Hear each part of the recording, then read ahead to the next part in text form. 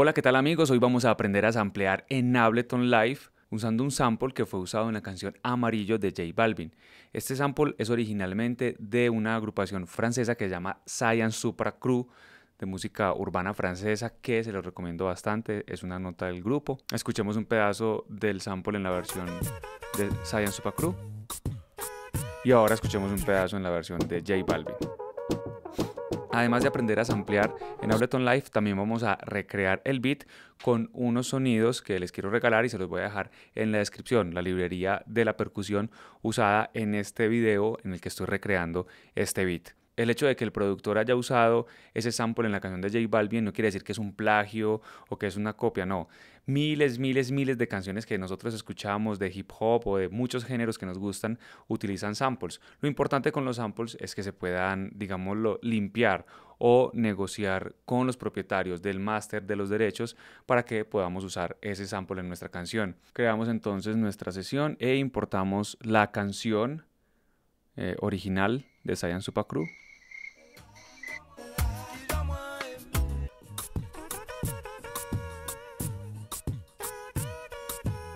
la importamos a Ableton Live, asegurándonos de que no tenga el autowarp puesto.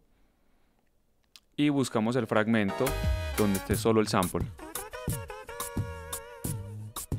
Aquí está toda la vuelta, podemos escuchar. Aquí miramos que no hay, no, no hay nada más estorbándole, no hay en la cantante principal. Entonces cortamos en la parte inicial del sample, donde empieza el tempo fuerte o en la transiente, y cortamos donde termina. Así tenemos solamente el fragmento que necesitamos ampliar. Me lo llevo para el principio de la sesión para tenerlo más organizado. Y lo que vamos a buscar ahora es encontrarle el tempo o el clic a este fragmento. Aquí escuchando un fragmento de la canción, vemos que tenemos los dos compases.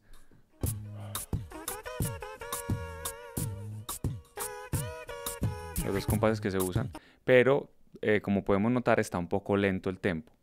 Entonces lo que para poder acelerar el tempo sincronizado con el click, lo que necesito primero es encontrar a qué tempo está este sample.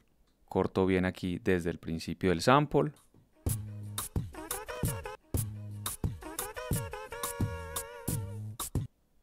Entonces miren que si voy moviendo aquí el metrónomo,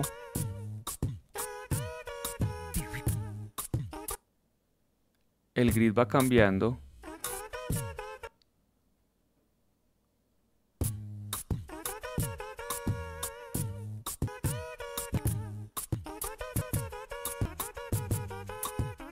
Con tap me voy aproximando, mire que ahí estoy más o menos cerquita entre 80 y 85 y aquí voy moviendo el tempo y miren que las líneas me van cambiando. Cada vez me voy aproximando más.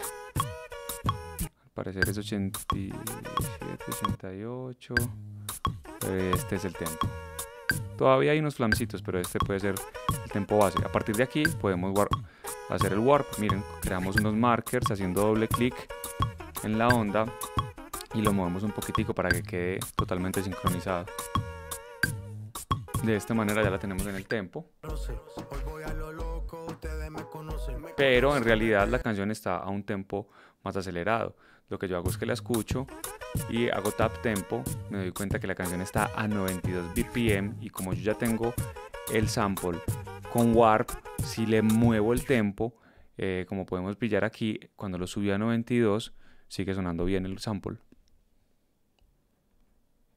que es una excelente manera con sonido para tener eh, los cuatro compases y a partir de ahí le doy loop y eso lo puedo usar durante toda la canción. Creo que va durante toda la canción este sample.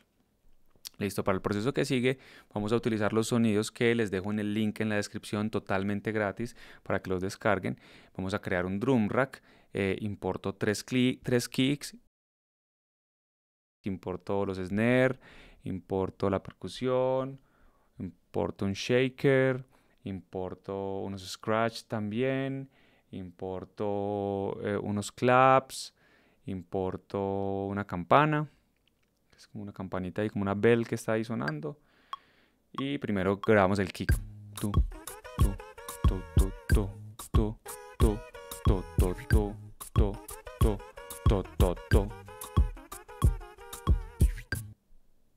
Que hace el kick. Ahora a mí me gusta asignarlo a esos otros dos sonidos que tengo para que suene más gordito y se complementa. Ahora vamos a grabar eh, el redoblante, que hace como un dancehall ahí todo el tiempo.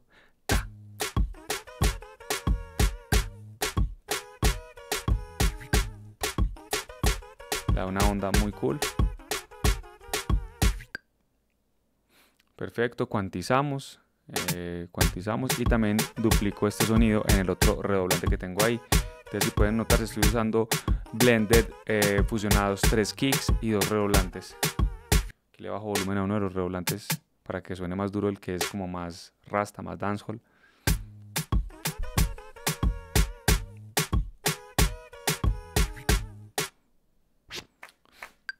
Ok, ahora grabamos unos clap, creo que lo hacen cada cuatro tiempos. 3, 1, 2, 3, 4. Perfecto, después de que tenemos el clap, ahora hace un fill eh, cada cuatro compases, ¿cierto? Cada vuelta hace un, hace un fill. Tacata, tacata. Eso lo hago automatizado. Cada cuatro compases, perfecto. Dos, tres. Cada cuatro compases hace el para el cambio. Segundo compás.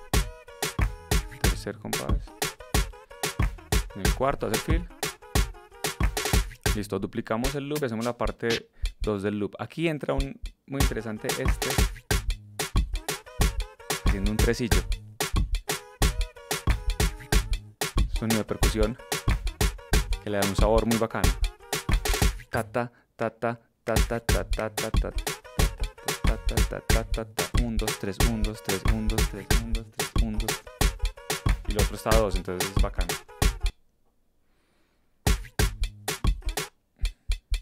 tiene que mucho bajo, entonces le voy a poner un filtro, un filtro eh, pasa altos. Aquí tengo la frecuencia, creo que no muy alta, voy a bajarle la frecuencia. Y, allá no me estorba ese bajo que había ahí tan presente. Buenísimo. Y me hace falta como un brillo que tiene la canción y yo le se lo asigno un shaker que no sé si sea un shaker pero me da ese brillo puede ser que sea de mezcla pero me da ese brillo que creo que le hacía falta la canción. Entonces, loop 2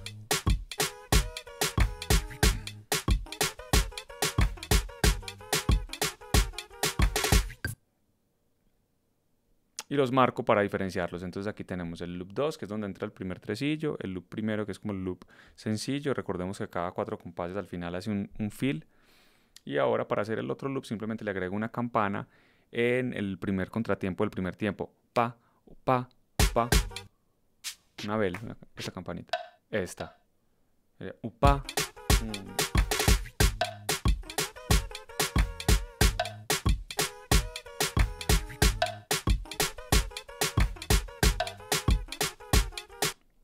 ya tengo creo que los tres principales loops que se hace durante toda la canción, obvio sin contar los cortes y los filtros. Le pongo un glue compresor que es excelente para la percusión, es nativo de Ableton. Lo que hace es que hace que todos los sonidos de la percusión suenen como si fueran parte de, una, de un solo elemento, de una sola percusión.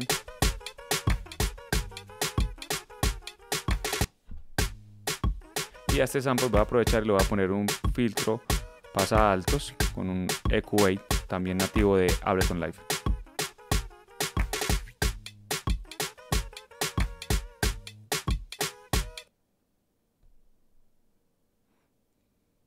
Ahora voy a crear el bajo. Perfecto utilizo un sonido de aquí del Massive que se llama Apologize This que me gusta mucho y básicamente hace la todo el tiempo con el sol y con el re. Pónganse en audífonos para que escuchen. Y creo que aquí hace otro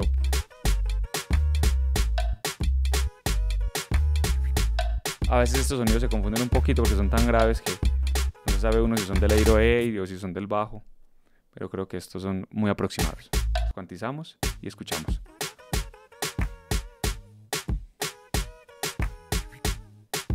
Esto es lo principal que tiene la canción. Ya lo otro que podríamos hacer es jugar, por ejemplo, como hacen ellos con... Eh, al principio le ponen un filtro y van subiendo. Ese filtro lo podemos hacer aquí mismo en nuestros audio effects con el auto filter. Si lo ponemos aquí en el master y escuchamos desde el principio, hundimos rec, él nos graba la automatizada del, del autofilter. Miren cómo lo podemos hacer.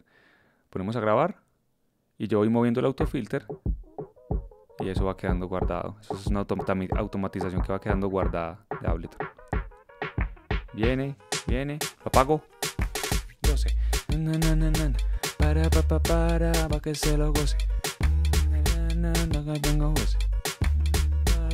que se lo goce. Bueno, y recuerden que les dejo en el link los sonidos que utilicé en este video de percusión de manera gratis. Ahí hay una carpetica, ahí está el link. Acceden abajo en la descripción. Eh, si les gustó, recuerden suscribirse, darle like a este video. Si no les gustó, también bienvenidos, ¿por qué no? Si, si quieren alguna sugerencia o si quieren algún video en especial sobre algún tema, ahí en la caja de comentarios lo pueden dejar y si tenemos la oportunidad, lo hacemos con muchísimo gusto.